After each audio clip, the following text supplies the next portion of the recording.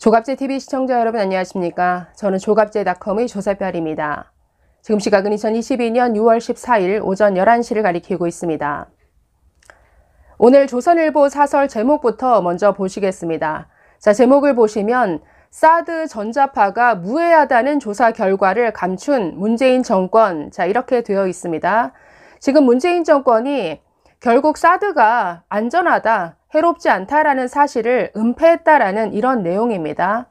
저 사설을 읽고 있으면 이 문재인 정권은 그야말로 은폐와 조작, 선동의 달인이구나라는 생각이 절로 드는데 저 사설이 담고 있는 내용이 어, 사드 전자파뿐만이 아닙니다. 이 외에도 그동안 문재인 정권이 은폐하거나 축소했던 사실들이 한두 가지가 아니다라는 사실을 쭉 열거하고 있는데 어, 저희가 꼭 기억해야 될 내용인 것 같아서 좀 소개를 해드리도록 하겠습니다. 자, 사설 같이 읽어보겠습니다. 문재인 정부가 성주 사드, 즉 고고도 미사일 방어 체계인 사드 기지에서 나오는 전자파가 인체에 무해하다는 조사 결과를 보고받고도 공개하지 않았다고 한다. 국방부가 2018년 3월부터 4년간 측정한 사드 레이더 전자파는 유해 기준치의 2만 분의 1이었다. 휴대전화 기지국의 1000분의 1로 인체 무해성이 입증된 것이다.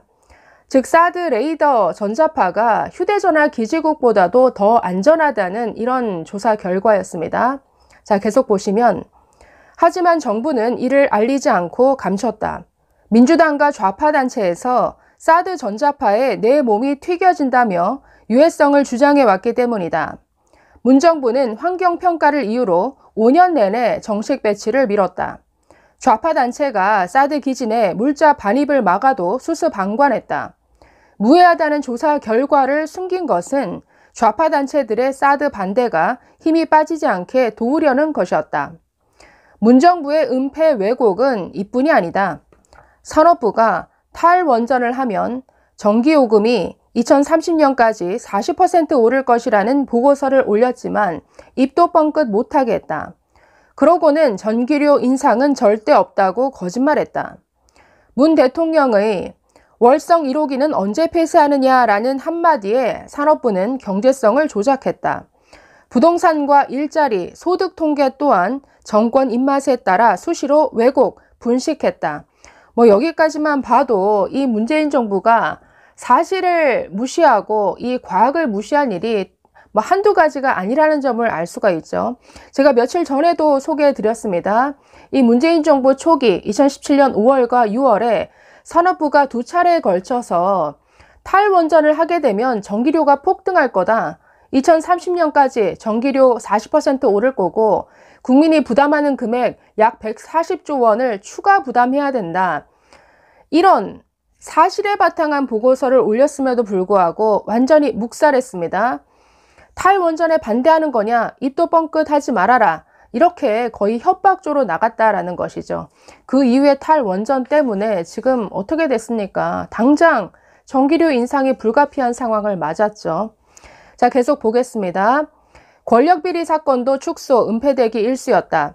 울산시장 불법 선거 개입 사건은 대통령 앞에서 수사가 멈췄고 재판은 2년 넘게 미뤄졌다.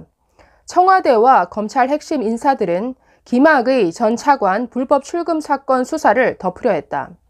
이용구 전 법무부 차관의 택시기사 폭행 사건은 경찰이 축소 은폐했다. 문 대통령 딸의 해외 이주를 도운 이상직 전 의원 의혹도 내막이 드러나지 않고 있다.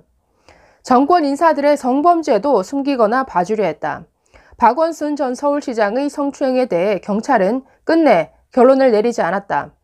오거돈 전 부산시장의 성범죄는 총선 이후에야 공개됐다. 기소하는데 9개월, 첫 재판에 14개월이 걸렸다.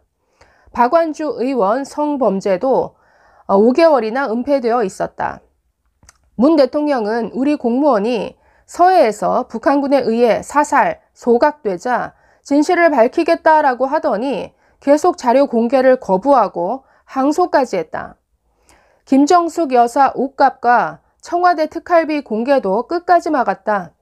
유엔 인권사무소가 언론중재법을 반대, 비판하는 서한을 보냈지만 민주당은 숨겼다.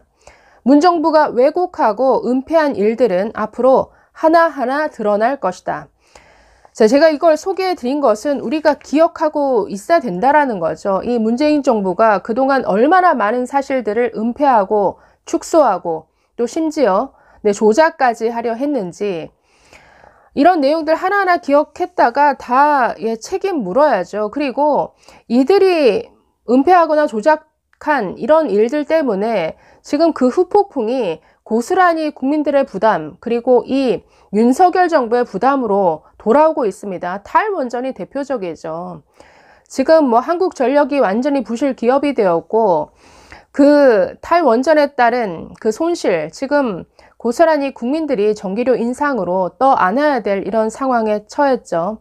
네, 이걸 읽어보면 정말 지난 문재인 정부 5년은 철저히 과학과 사실을 무시한 이런 시간이었다라는 생각이 듭니다. 어떤 사회가 과학을 부정하고 사실을 외면하고 사실을 부정하는 이런 사회가 되면 네, 그건 야만으로 가는 거죠. 아니, 과학과 사실을 부정한다. 이게 윤석열 대통령이 취임사에서 밝혔던 반지성주의죠.